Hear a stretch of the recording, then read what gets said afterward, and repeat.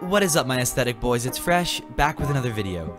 Today we have a storytime episode of r slash entitled parents featuring r slash choosing beggars, and apparently they're all about food, so I hope you enjoy. Entitled mom wants to steal my birthday cake. My mother terrifies her kid and her into backing off. So I've recently encountered an entitled mother at Waitrose in the UK. This features me only as a partial spectator and my mum as the victim of this entitled mom, or EM the victim of my mother, in all honesty. Happened over a week ago, but only now getting the time to write it.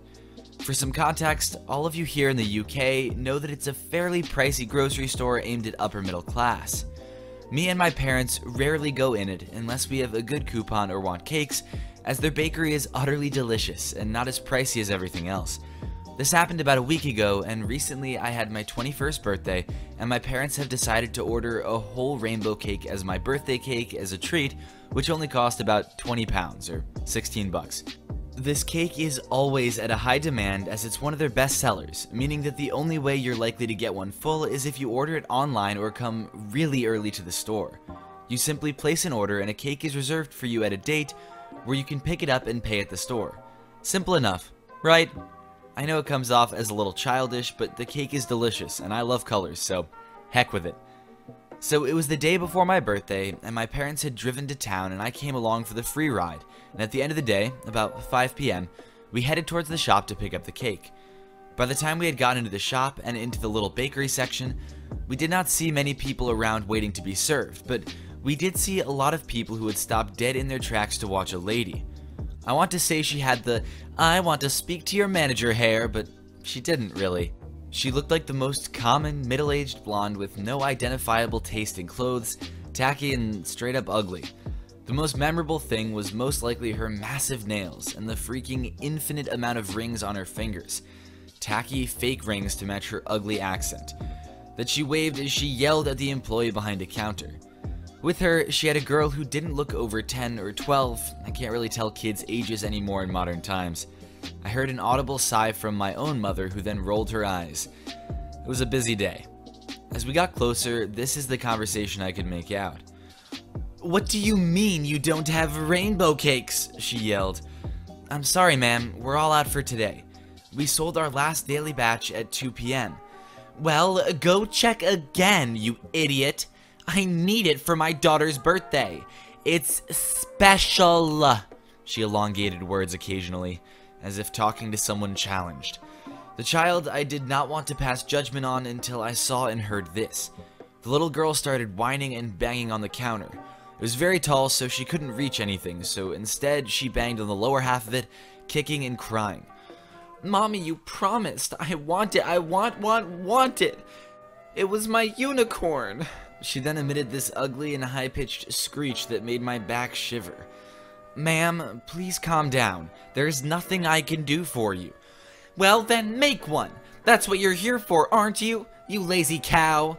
This country is going to hell because of you lazy immigrants like you get jobs and do nothing useful. She berated the woman. Not even sure why. The woman at the counter was English and spoke it perfectly. Hell, better than me. Ma'am, you need to calm. Don't tell me what to do, you dirty immigrant. I'm here to spend money. Go make a new one and make use of yourself. I need it today and no later. Where else do you think I'm going to get a cake for my little princess? By now, the entitled kid was thrashing everything about and dropping things and items of the food and picking them out of her mother's basket and chucking them about in protest. Employee, Ma'am, I'm sorry, but we're unable to start baking anything at this hour. And even if I could, I do not have the time. The EM continued staring at the employee as if she was an alien, speaking in another language. My mom and me are not pleasant people when we're tired. My mother simply shoves past the woman and approaches the counter. Pushing the woman aside, making her gasp, my stepfather standing between my mother and her. Hello, my mom said with a smile as the employee wasn't doing anything wrong. I knew my parents were worried that they may have sold the reserved cake, but my mom decided to ask anyway. Excuse me, I heard you said you ran out, but we reserved a cake, and if you still have it, we'd love to pick it up. The employee smiled and said, Oh, miss? My mother noted as the entitled mom stared at the interaction. She tried to yell and ask my mom to move, but My mom simply ignored her like a bad smell in a large room. The employee proceeds to open a second cabinet and take out a box, open it, and show a full rainbow cake. Wait, you said you didn't have any, you effing liar! Yes, ma'am, we have no available cakes. This was reserved to be picked up at 5 p.m. today. Entitled mom looks at my mother and tells her with an angry look, Listen here, I was here first. This is my daughter's cake. Give it to me. My little darling has her birthday in two days. Well, this one's for my daughter's birthday tomorrow. You should have ordered it, like I did. The EM looked at me with a disgusted look. You are an adult. What the hell is wrong with you? You're too old for a cake. And you're too old and ugly to throw a tantrum. Excuse me? You heard me. Are you deaf as well as brain challenged?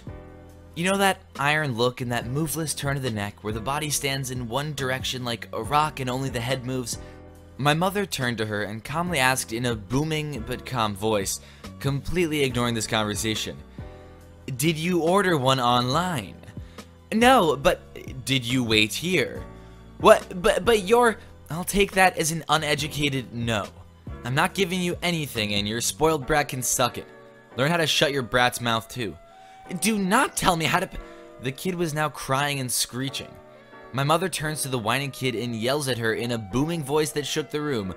Shut up, you spoiled brat! The kid visibly spooks and turns dead silent, all color drained out of its face. Looking at her with the most terrified look in her eyes, not even crying. Only stared at her like a deer in headlights. My mother turned back to the employee and said with a smile, Will that be 20 pounds?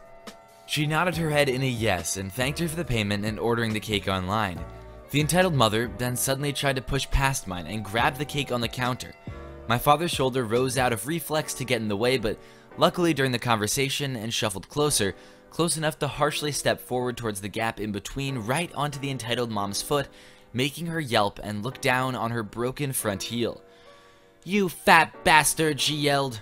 I smiled and said, Oh, my bad. Shouldn't have gotten in the way. You stepped on me. I'm sure I did, I replied with a smile, and moved away as my mother started walking away. The woman tried to chase after us, but couldn't as she had a small limp and her child just teared up a little. Honestly, maybe that'll teach her a little more humility and an appropriate way to be upset rather than throwing a tantrum. My mother would have crucified me if I ever pulled something like that as a kid. I want to say, I hope that kid learned a lesson and doesn't grow up to be like that, but I highly doubt it. At least I got my cake and had a great birthday and now have a fun story to tell. Well, folks, this is probably either the best entitled parent story you've ever heard, and you're so glad that her mom put this entitled mom into her place, her rightful place, or we're all watching to the side as the rainbow cake sprouts sponge cake arms and starts clapping for the heroics of the story. Basically, you're either in awe or you're in awe of how absolutely fake most of this sounds. Vote in the poll. Let me know. We need that house more than you because we have kids. A quick vent. Five years ago, my husband and I bought a house. We've been saving for years for the down payment and the stars must have aligned for us to get it. Everything worked out perfectly. The house was a major fixer-upper, but it had land and we were happy with that. Turns out my brother-in-law had looked at the house when it was listed as well. They decided it was too much work to fix up and not worth it. They wanted major upgrades too, whereas my husband and I are very simple people. We don't need granite countertops or a soaking tub or hardwood throughout. Met up with the family recently, and brother-in-law was talking about how cramped their condo was now with two kids. Brother-in-law decided this was the time to tell us that we should trade houses. I kid you not. Brother-in-law is very, yes, entitled. Brother-in-law proceeded to argue that we're only two people, and their family is growing and could use the space. Literally suggested that we give ours to him and buy out his condo. I laughed. I knew he was serious, but I couldn't help but laugh. I've never in my life imagined someone could be so damn entitled that they demand someone giving up their home for the sake of another family. Are you kidding me? Brother-in-law then got mad at me for not even considering it and began justifying all the reasons his family needed our house more. Oh, you think this is the worst part, right? no, it gets better. We never finished the basement, so there's only one bathroom in the house. Brother-in-law informed me that if we were to trade houses, that we would need to make some major upgrades first because he wouldn't have time to be able to make any renovations. He was somehow, inexplicably certain that I would see the logic in this plan and just trade houses with them because they needed the extra space so much more. And now my brother-in-law isn't talking to me because I laughed through the whole thing and wouldn't take him seriously. Win-win. Go ahead. Punish me by not talking to me. At least then you'll stop trying to make me the bad guy because I have two spare rooms I don't use. My husband and I each have an office. And tell everyone how horrible I am because I wouldn't buy out their condo at market value while giving you our house out of the goodness of our hearts. Last I know, he was now trying to tell my father-in-law to retire and move into the city so that they could have the farm. Joke's on him, father-in-law already talked about it and has left the farm to me and my husband in his will because we actually farm, and brother-in-law thinks it's too much work. I always thought the internet exaggerated that people like this exist. I thought situations like this couldn't possibly be real. What the hell are these people thinking? Well, the simple answer to the question, what are they thinking, is, well, they aren't thinking. That's kinda how we got here in the first place. You don't have to eat it. Short story that happened in my job today. At my job, we have a window where people approach us for the items they need. It can be anything from grease to gears to tools. I started bringing candy into work and stuffing a basket with candy. Depending on the type, the candy can be $1 to $7 a bag, and usually I get an assortment. Kit Kats, Snickers, Milky Ways, Nerds, etc. This is not a sponsored video, mind you.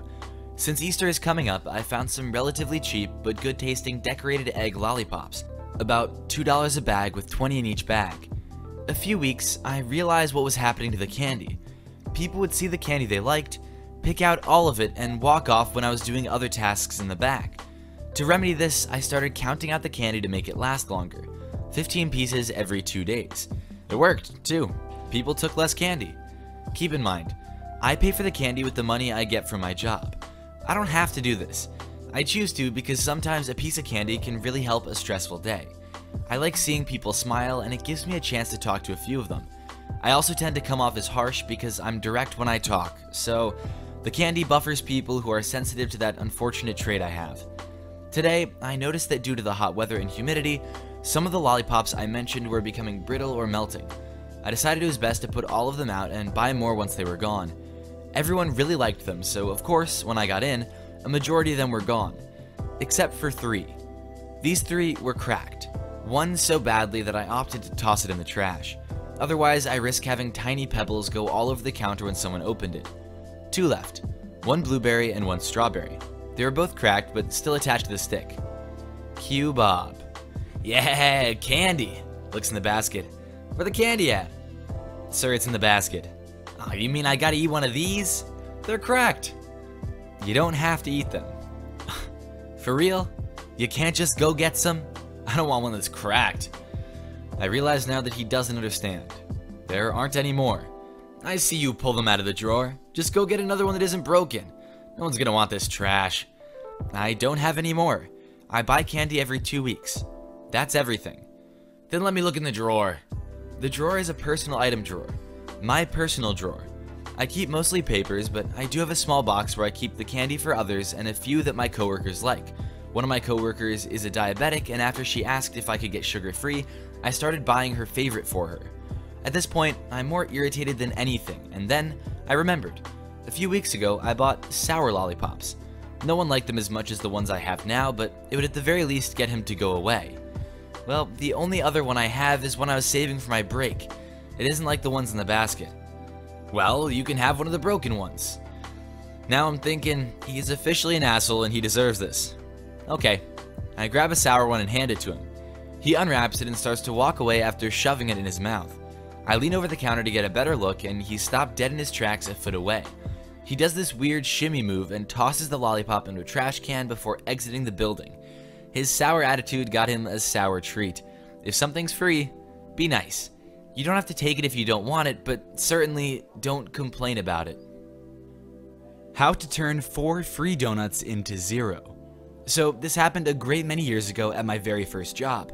I worked drive-through at Krispy Kreme Donuts.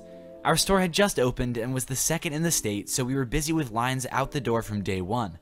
For those who don't know, Krispy Kreme's big draw is the Hot Light. When the neon orange sign is on, you can come in and get a free original style donut, no purchase required. The first month we were open, the hot light was almost always on. In the first week, management started to notice scammers. They would come inside for a free donut and then go through our drive through and get another, usually without making any purchases. It happened enough to become a problem, so we solved it by only giving out free donuts if you came inside. We put up a sign in front of the drive through saying to come inside for your free donut so that no one got any unhappy surprises after waiting in a long line. This didn't stop people from trying to get a free one through the drive through. Our boss allowed us to make minor exceptions at our discretion. If someone made a gigantic order or was handicapped, etc., we would still give a donut if they asked. One day, a minivan came through and ordered one or two donuts. They came up asking for their free ones as well. Sorry, but our policy is that you must come inside for the free donuts. Oh, please. We don't want to have to get our kids out of the car. They shifted in their seats, and sure enough, there were two small children in car seats. I decided to make the exception for them and grabbed four hot donuts. CB's beamed. The kids were happy, and then they ruined it. Um, actually, we have five more kids at home. Can we get donuts for them too? No, I can't give away donuts to people that aren't here. I don't have to give you these ones, but I wanted to be nice. Choosing beggars now scowling. Uh, we want to speak to the manager about this. I shrugged and was happy to let someone else deal with these people so I could get back to my increasingly long drive through line. I tell the manager exactly what was going on. He came over to talk to them. Manager, I'm sorry, this seems to be a misunderstanding. CB smiles smugly at me. As per policy, we don't give out any free donuts in the drive through You're welcome to come inside and we'll give one to each person that's present. Manager took the hot donuts still in my hands and put them back on the line, shut the window on the CBs, and walked away. He was as sick of beggars as the rest of us. Choosing beggars flipped me off and drive away angrily. Needless to say, they didn't come inside for their freebie. I don't know. To be completely honest, if you're too lazy to get a free donut that you won't even walk inside the store, you don't deserve the free donut. Not even that the store shouldn't have to give it to you, you don't personally deserve that free donut. Thank you to everyone who watched this video. Be sure to subscribe for more daily Reddit content. Drop a like if you liked the video, and I will see you all tomorrow.